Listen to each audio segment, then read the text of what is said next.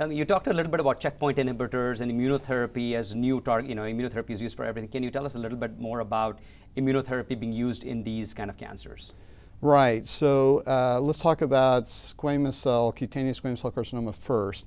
It has the highest tumor mutational burden of any cancer in the Cancer Genome Atlas many times higher than melanoma, which is sometimes compared as it has somewhat of a higher tumor mutational burden. But, but squamous cell carcinoma of the skin is much higher than These that. These are really hot tumors. Uh, well, in terms of tumor mutational burden, which yes. could generate a lot of neoantigens, mm -hmm. and in other cancers, the higher tumor mutational burden has been associated with increased response. Uh, and then, interestingly, basal cell carcinoma has an even higher tumor mutational burden, but it's not part of the Cancer Genome Atlas so not everybody's aware of that. And the thought is, again, that higher tumor mutational burden is associated with better response, so it makes uh, at least squamous cell and, and, and perhaps basal cell very good targets.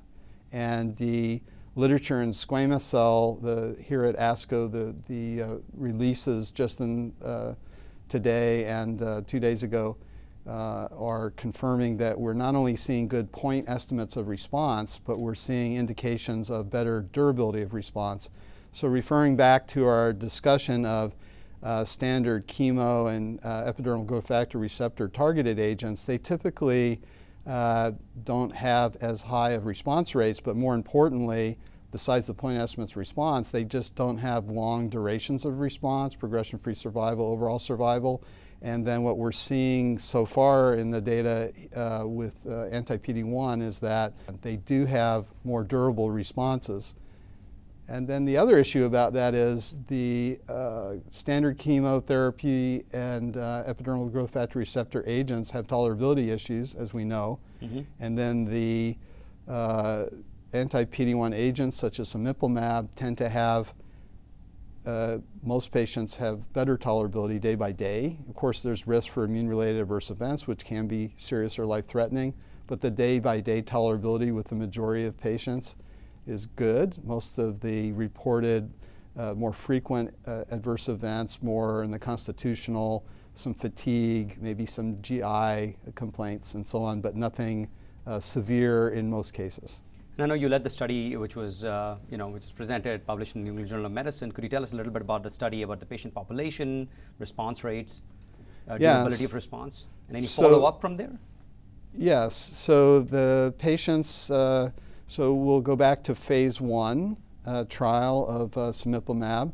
This was uh, a, uh, a dose escalation initial part of the study that was open to patients with multiple solid tumor types.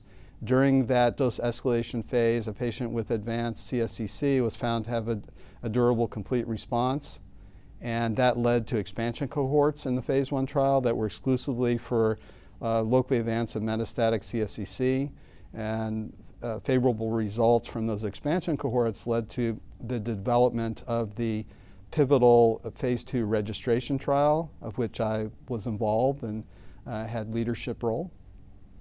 And can you tell me a little bit uh, about, uh, do you have any follow-up from that trial and everything? Do you see durability of these responses like we see with other checkpoint inhibitors, or do they stop responding after some time? And when did you stop giving the checkpoint inhibitor? Was it like a two-year point, or do you continue right. to give them? So the trial, the phase two trial was designed to give uh, people treatment for uh, uh, two years.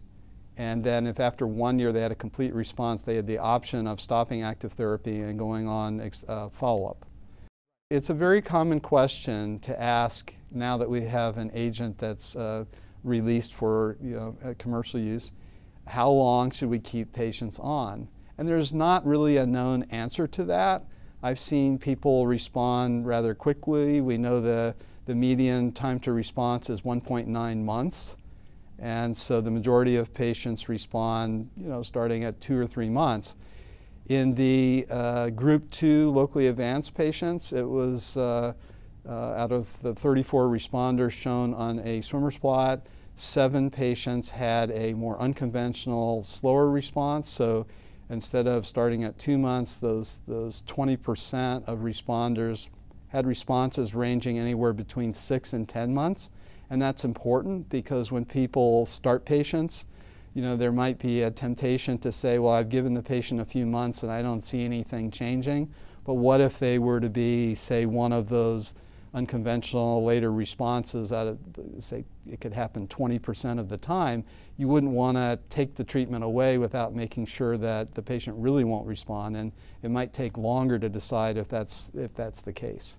So one of the checkpoint inhibitors worked well. Uh, what about other trials uh, utilizing other checkpoint inhibitors in this space?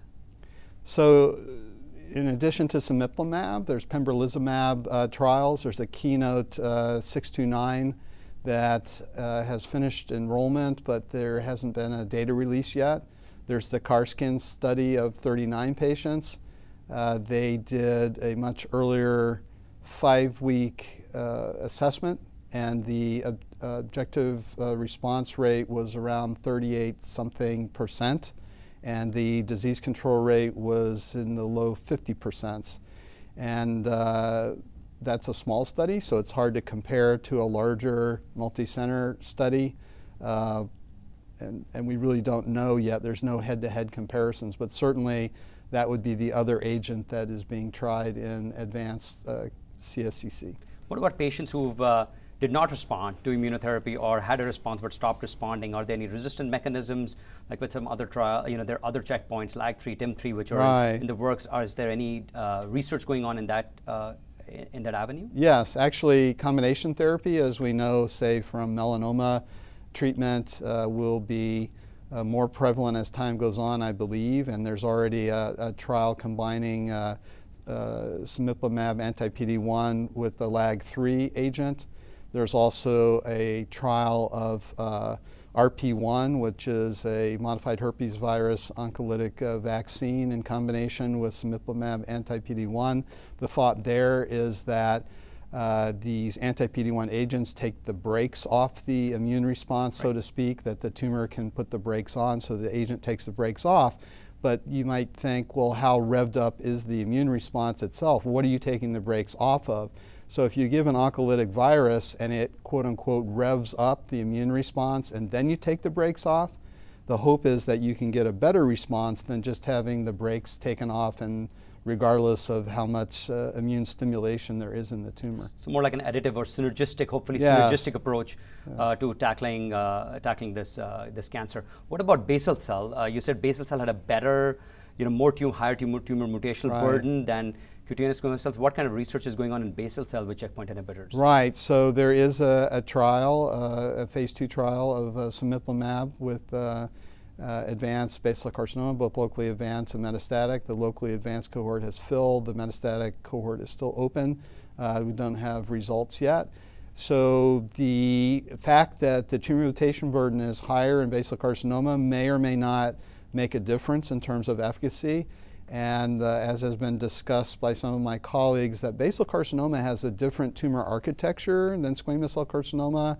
Uh, there's a potential that the basilar cells form some sort of barrier, and we know that there are these uh, these uh, clefts that can occur around basal cell carcinoma. So whether that plays a role in the response uh, is unknown at this time, but it's certainly an area that could be investigated further. So very interesting because it may have a higher tumor mutational burden, more antigen load, but it might not be as responsive because the tumor microenvironment or something is going on in the basal right. cell which would give it a less response. And this is speculation, but mm -hmm. this has been comments by some of my colleagues that do a lot of the uh, skin oncology research.